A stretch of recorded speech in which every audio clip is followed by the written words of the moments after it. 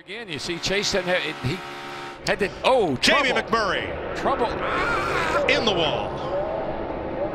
Caution. Up front damage. That Chip Ganassi Chevrolet took a light hit into the wall and a pretty I think hard I hit pretty good. Yep. He was running You're gonna have to get the right front off the ground. Right front off the ground. Let's have a look at what happened and keep a, a eye on the 41, Kurt Busch, coming into the corner here behind McMurray. Pretty big run, pretty far back. Looks like he's going to try to maybe squeeze the inside. Yeah, just barely clips that left rear quarter. That's all it takes, really, to get the car turning around.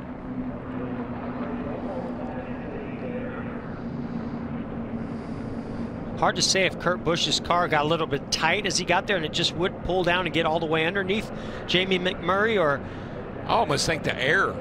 I, I mean, I'm looking at the left rear corner of that one car right there. I don't see any wheel mark or anything. It's almost like the air pushed him around like he was a little loose and it just turned him. Yeah, if they touched, it was barely. Now, what's Logano going to do with this oh, run? kid. Logano's going to have to back up to Jimmie Johnson and see if he can't get a run. You better slide in that opening right there. Quick, quick. Now, here comes a push from the 42. Watch that. Go to the 41, push the 41. He's got a run on the 48, Jimmie Johnson.